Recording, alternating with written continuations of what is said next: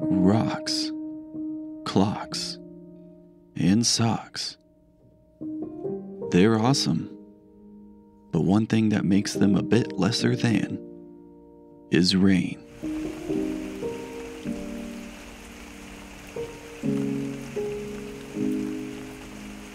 Why is it that rain gets such a negative reputation?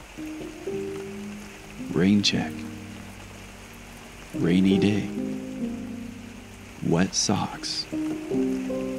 Wet rain. Or is rain even wet?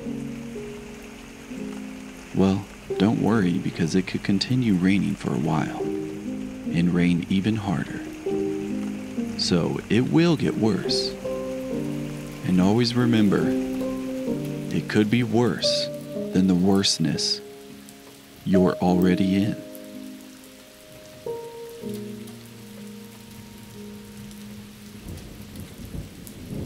Example, remember that sock the dryer ate? What if you found it out in the rain? There it is. Cold. Wet. Alone. Waiting to be found.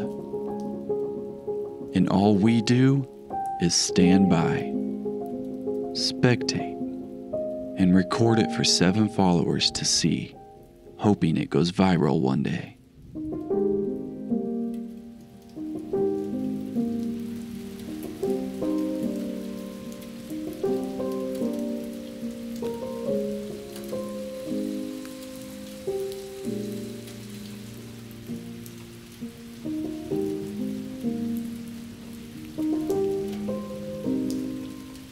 But what if our assumption is all wrong?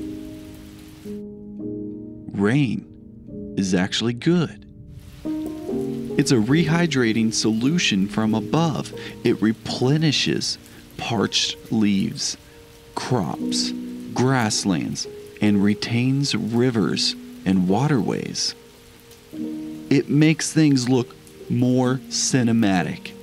For real, there's a lot of wet roads in movies. Speaking of movies, there's Singing in the Rain and Rainn Wilson. There's so much hope even a rain cloud could bring, especially in the desert. When it's been hot and dry for a season, and then the rain comes in, and sometimes in that context, we want our socks to get wet. So, next time the rain comes, look at it as an opportunity an opportunity to sing in it and be like that movie. And always remember there's always someone who has it worse.